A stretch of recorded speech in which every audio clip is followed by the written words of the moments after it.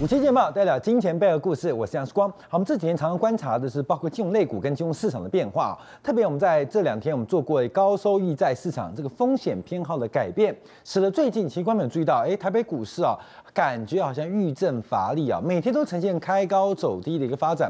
我们接着再回来做一个观察，因为从中美的一个国债市场，目前利率又创新高啊，代表市场上出现了一个大范围的吃紧吗？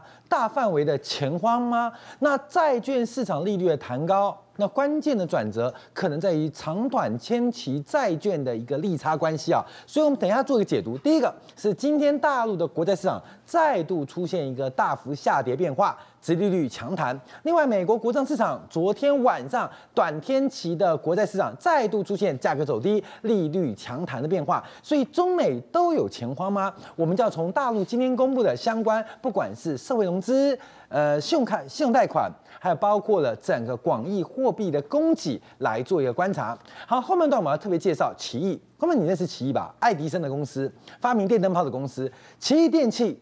在昨天股价几乎又要创金融海啸以来的新低啊！特别是把股利给减半。其实，在讲到管理学当中，一定有人听到六个标准差。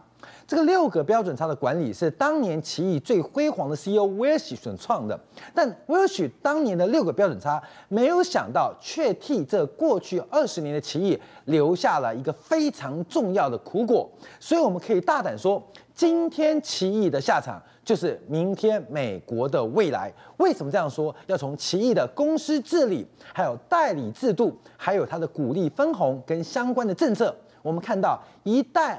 美国最强的金融制造业强业呃产业啊的制造业公司奇异电器，为什么今天会落到股价崩盘的下场？所以我们看奇异今天奇异，明天美国。好，我们请到三位来宾，第一位请教的是曾飞师叶俊敏，好，第二位请我们资深财记者丁万明，好，第三位请我们的知名主持人大 K 曾焕文。五期金钱报带你了解金钱背后的故事。